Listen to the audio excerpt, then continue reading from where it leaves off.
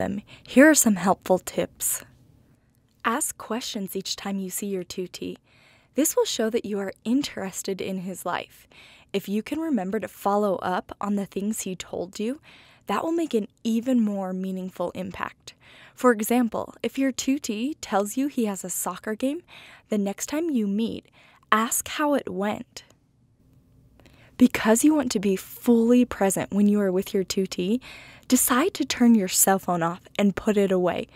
Give 100% of your attention to your tutee, and you will see that student progress even more as the trust between you grows.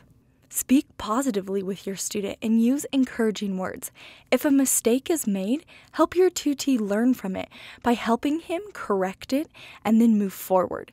Teach your tutee that we all make mistakes, but that we succeed when we keep trying.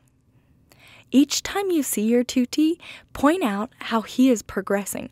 It may be hard to see, but find at least one thing you can compliment each day. These students look up to you and want to imitate you. Give them something good to imitate.